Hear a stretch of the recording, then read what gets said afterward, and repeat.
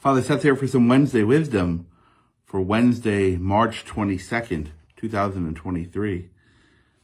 Lent is flying by. Easter is almost upon us. We still have a few weeks left though, so there's still some great opportunities here at St. Rose and Our Lady of Mount Carmel to participate in the Lenten festivities. Again, Monday night, the light is on for you from 5.30 till 7 at St. Rose for confessions. Also, along with confessions, there's adoration of the Blessed Sacrament and benediction at 7 p.m. It's a time to quiet our hearts and spend some time with our Lord uh, in the Blessed Sacrament, uh, exposed on the altar in adoration. Uh, it's a great experience of God's mercy as well. So uh, if you have some time to stop in, you don't have to stay the whole time, but please uh, know that you're, everyone is most welcome. Stations of the Cross are once uh, continuing on Fridays after the 8 a.m. Mass at St. Rose and 6 p.m. at Our Lady of Mount Carmel. Uh, there is no book club tonight. Father Mosley has uh, a meeting for the St. Joseph Center, so he will not be able to be at, uh, there is no book club. Just a reminder that the Knights of Columbus are having their clam chowder and cabbage and noodle sell on Fridays. Uh, more information is in the bulletin. Also, uh, some delectable delights. The Our Lady of Mount Carmel Altar Rosary Easter bread sale is next week. Um, more information, again, is in the bulletin on that. Also in the bulletin, a lot of good stuff in there this week. I tell you, may, definitely should read it. Uh, the Easter schedule for the Easter services for the Triduum and for uh, Easter Sunday. Uh, all the Holy Week festivities are in the bulletin, so please consult the bulletin. Uh, you know, if I start reading, trying to read uh, dates and times, I'm just going to get messed up.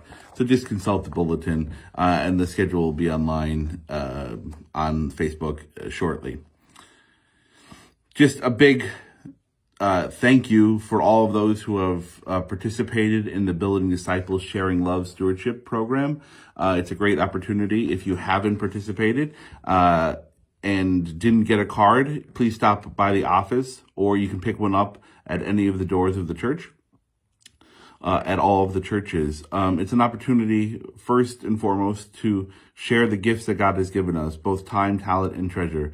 So, uh, as we move forward, there'll be some great opportunities uh, to get involved uh, with your talent and time. Um, your treasure, it is important. It helps us to run things, as, you know, as I as I said and as we know. But again, it's a great opportunity to get involved and share the gifts of God with us.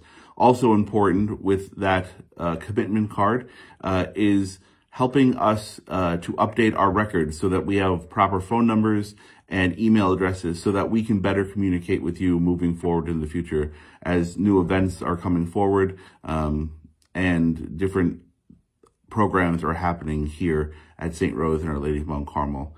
And there's also online giving available for both parishes. So there's more information on our website, 3as1catholics.com. Um, please consult the bulletin for the uh, how you can do it. And uh, the website, the setup is very easy for the online giving. So both parishes have the online giving now. Um, we made those steps to make it available to uh, both parishes. Uh, so it's again a great opportunity and easy so that you don't have to be carrying uh, cash. Um, I know our new world, we don't carry cash so much. Everything's done electronically. So trying to make it as easy as possible for you.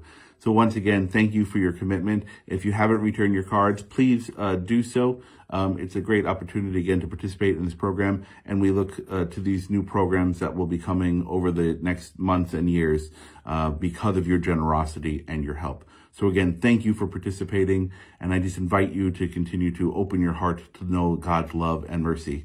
As we uh, continue our journey of Lent, we know that Lazarus is arrives this weekend uh, for in the gospel, and we look to that new life that comes from God, how He does raise us up uh, from the dead, from the dead of sin, of the, of doubt, and He is there to help us to give us new life.